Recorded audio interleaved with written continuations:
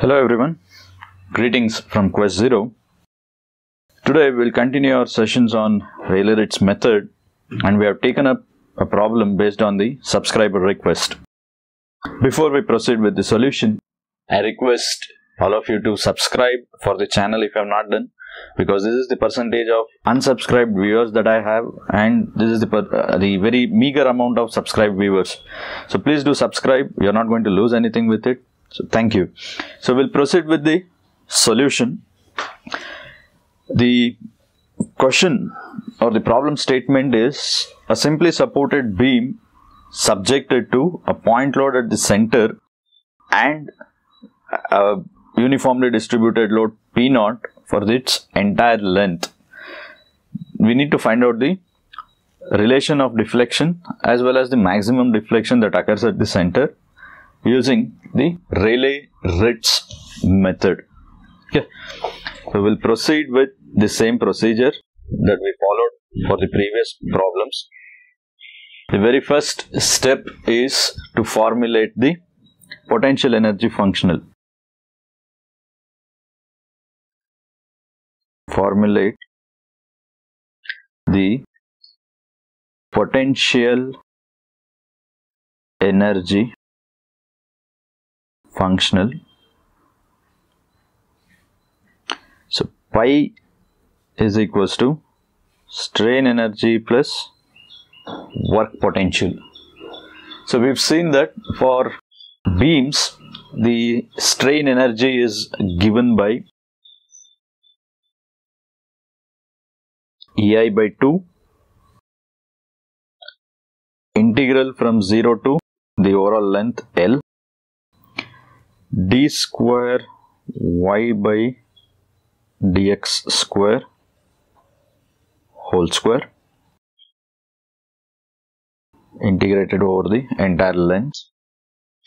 And work potential is given by since we have a uniformly distributed load it is integral minus integral 0 to L P naught y dx and also we have a point load. So it is minus p into y max. Since the point load produces the deflection at the center. Okay. Now the second step would be to we'll, we'll create the potential energy functional included with the strain energy and work potential. So what potential energy will become now? Ei by 2 integral 0 to l d square y by dx square whole square dx minus 0 to l p naught y dx minus p into y max. Now we need to assume the trial displacement function. So this trial displacement function can be either trigonometric or a polynomial, but we prefer trigonometric displacement functions for assumption for beam problems. So let trial displacement function be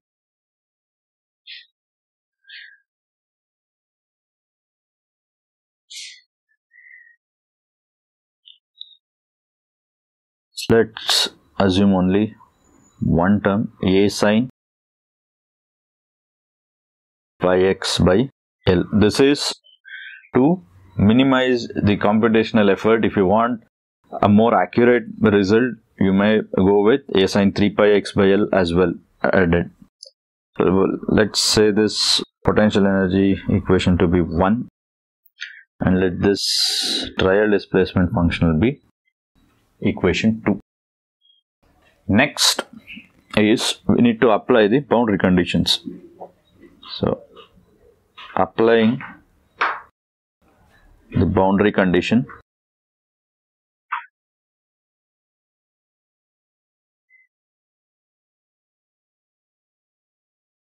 let's check at x equals 0 the displacement should be 0 at the support locations So y will become, if you sub substitute x equals 0, y will also will become equal to 0. So at x equals L as well, y should be 0. So if you sub substitute x equals L, sine pi is again 0. So y becomes 0. So it satisfies the necessary boundary conditions. But at x equals L by 2, y will become, if you substitute L by 2, L gets cancelled. So sine pi by 2 will remain. Sine pi by 2 is again 1.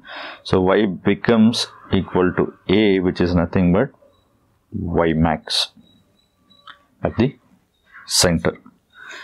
Now we need to substitute the values of d square y by dx square as well as y max we have obtained it to be a y value we have so d square y by dx square we need to obtain what will be the value. So differentiating equation 2 differentiating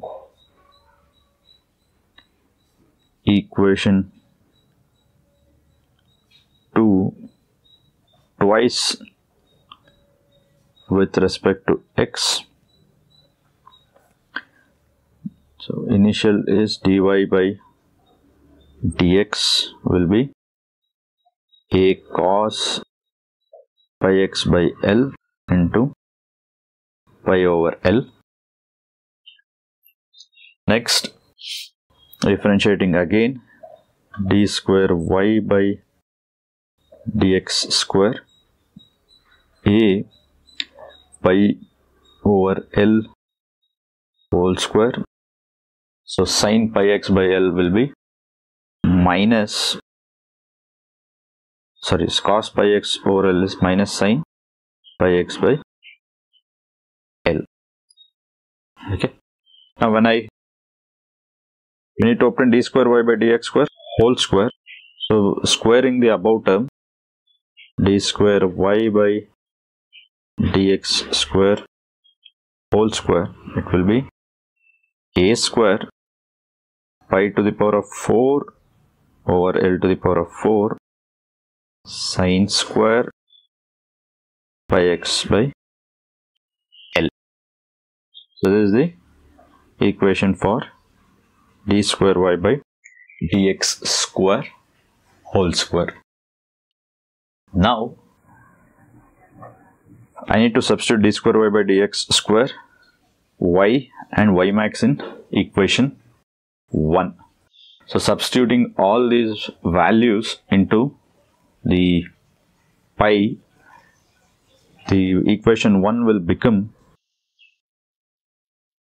equation 1 will become I do have all those values let me move on to okay, I do have space for this. So pi is equal to ei by 2 integral 0 to L. D square y by dx square is nothing but a square pi to the power of 4 by L to the power of 4 sine square pi x over L into dx minus integral 0 to L p naught value of a, y is a sine pi x over L dx minus p. What is y max is a p into a. Now we need to further simplify this equation.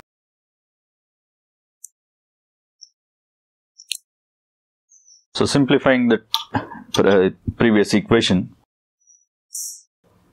pi is equal to, let's retain ei by 2 and take out all the constant terms a square pi to the power of 4 by L to the power of 4 and convert the sine function to cosine function.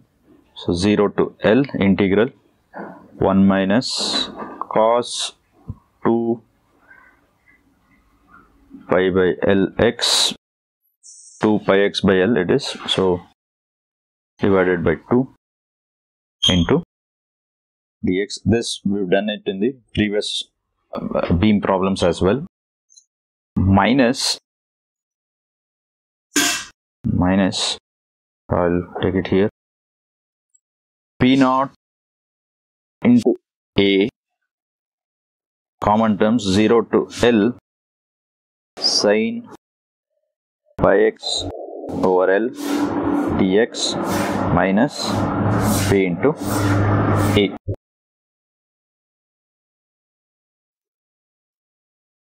Next,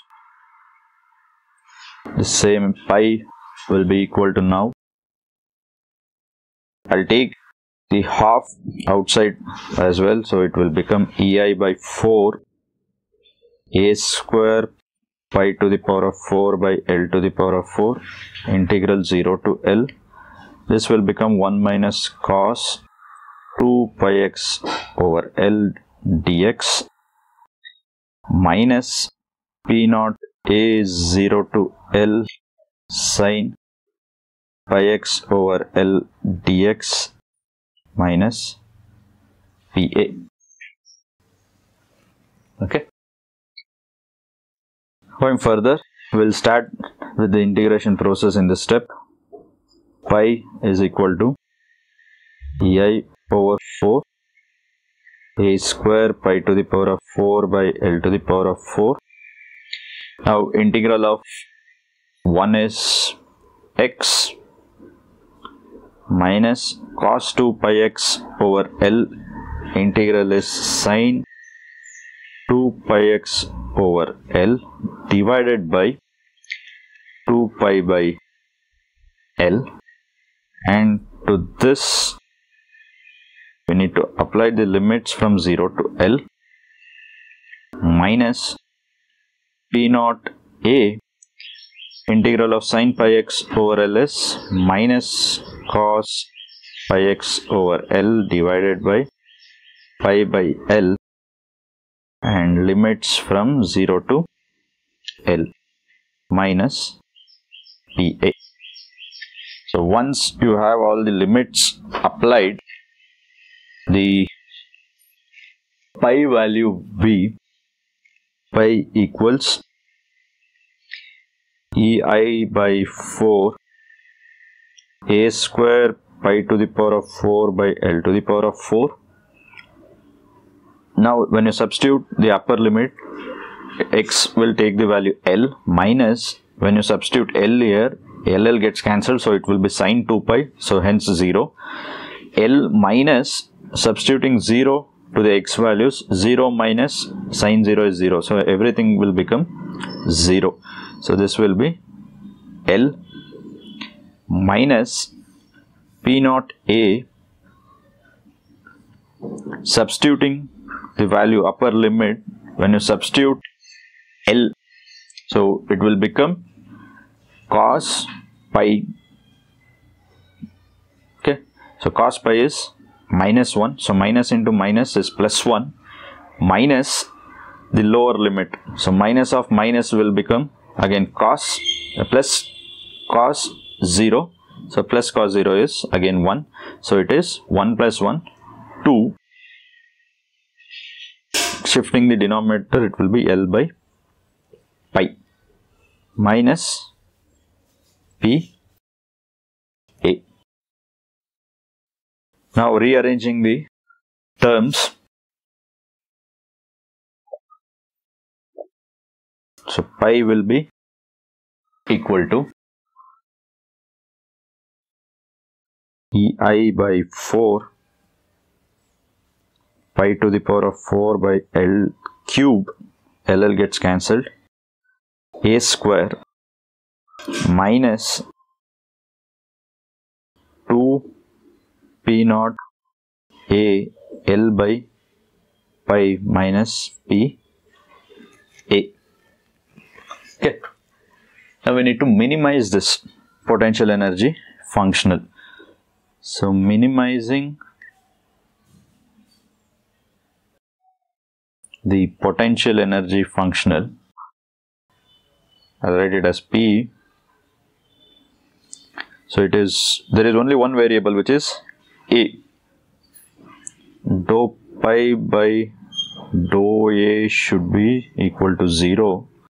So when I differentiate this, dou pi by dou A is equal to 2 ei by 4 pi to the power of 4 by L cube into A minus 2 P naught L by pi minus P is equal to 0. So I, I need the value of A. So this will be EI by 2. I'll shift the negative terms to the right hand side first. So this will become EI by 2 pi to the power of 4 by L cube A is equal to P plus 2 P naught L by pi. So A will now take the value. Shifting the denominator, it will be 2L cubed. Okay.